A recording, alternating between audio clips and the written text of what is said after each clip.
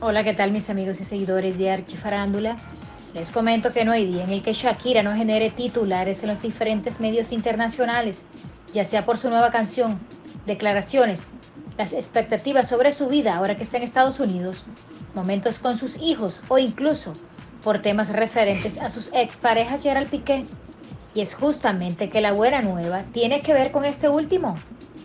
Ello debido a que en los últimos días se ha dado a conocer que Joan Piqué padre del ex deportista, pasó una carta a la cantante colombiana, siendo esa la razón por la que abandonó la vivienda de Barcelona para mudarse a Miami. Y a raíz de ello se conoció el motivo por el cual Gerald no la defendió de tan radical medida.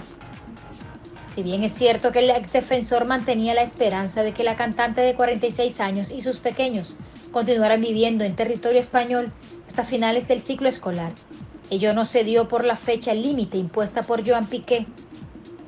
Pero realmente la expareja de la barranquillera no encaró a su padre ante tal decisión.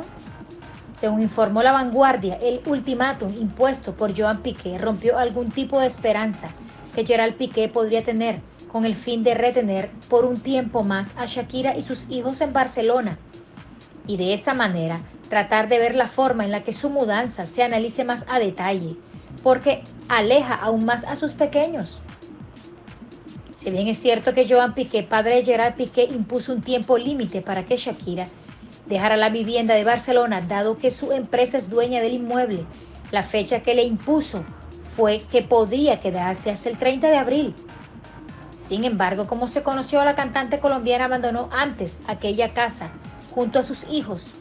El mismo medio señala que la precipitada salida generó fastidio en Gerard, pero detrás estaba el contrato de compra y venta, por lo que entendió la molestia de la barranquillera y solicitarle que no tome decisión no habría tenido sentido, porque ella ya lo tenía decidido.